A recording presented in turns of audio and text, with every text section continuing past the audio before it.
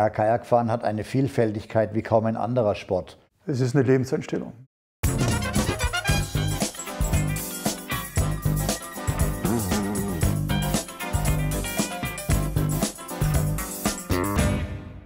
Adrenalin- und Flow-Erlebnis.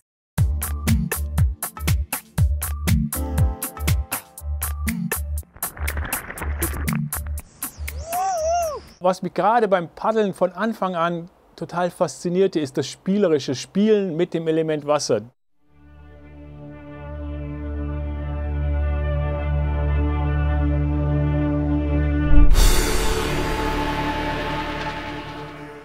Aber du weißt immer von Anfang an, das Wasser hat immer das Sagen. Mutter Natur ist immer der Boss.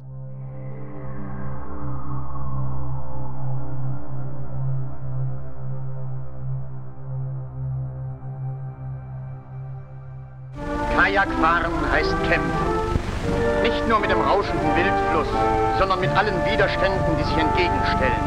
Kämpfen um eines Zieles willen. Dieses Ziel ist die vollkommene Verbundenheit mit der unberührten Landschaft, mit anderen Dingen und Menschen und schließlich mit uns selbst. Alles, was du tust auf dem Fluss, jede Bewegung, du hast sofort ein Feedback. Es ist äh, mehrdimensional. Vom Wettkampf über Kameradschaft und Gemeinschaftserlebnisse, Expeditionskajakfahren.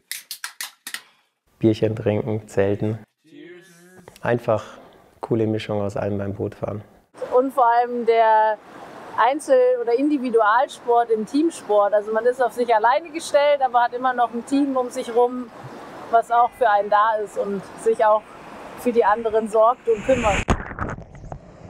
Du stehst vor einem Fluss und entscheidest dich, fahre ich, fahre ich nicht. Und dann ist die Entscheidung gelaufen. Vorher ist alles noch im Aufruhr, ähm, unter den Fingernägeln. Dann sitzt du in dein Kajak. Du bist noch, du machst die Spritzdecke zu, noch mit zitternden ähm, ähm, Händen. Und dann machst du die ersten paar Paddelschläge. Du bist in der, in der Hauptströmung und fährst an.